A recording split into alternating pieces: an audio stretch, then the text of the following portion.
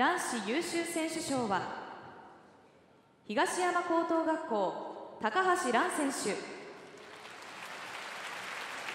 東山高等学校中島健人選手。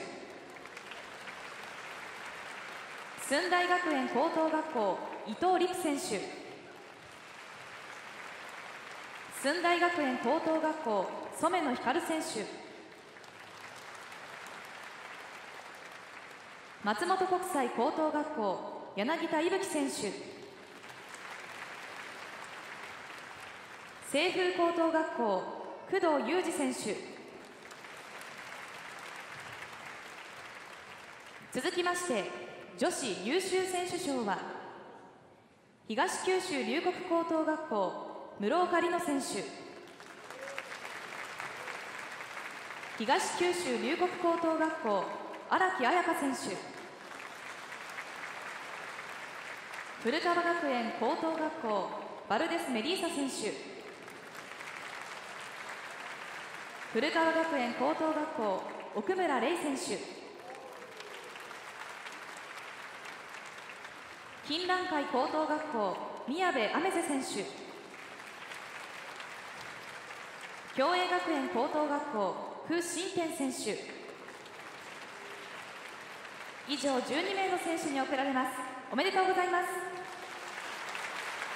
ベストリベロ賞は東山高等学校荒木拓磨選手。東九州龍谷高等学校吉田鈴乃選手。以上2名の選手に贈られます。おめでとうございます。最優秀選手賞は東山高等学校高橋蘭選手。東九州龍谷高等学校室岡里乃選手。以上の2名は中央にお越しください。遠藤社長お願いいたします。